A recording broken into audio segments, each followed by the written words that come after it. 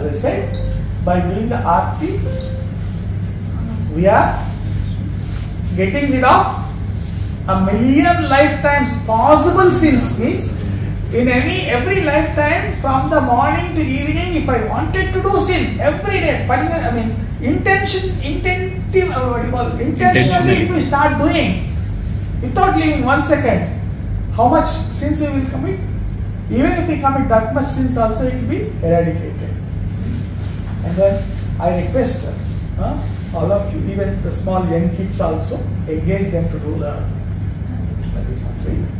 So now either Mataji or Prabhuji can lit the lamp. The same lamp you offer it and then you can pass it on to the others. And uh, the way how you offer is you make four times clockwise for the lotus feet of the Lord. Yeah, there is a lot, right? Uh, and then two times for the navel and then three times for the face. Four, two, three, and then seven times for the whole body. That's a complete arti. Four, two, three, and seven. Ah, So each of us will do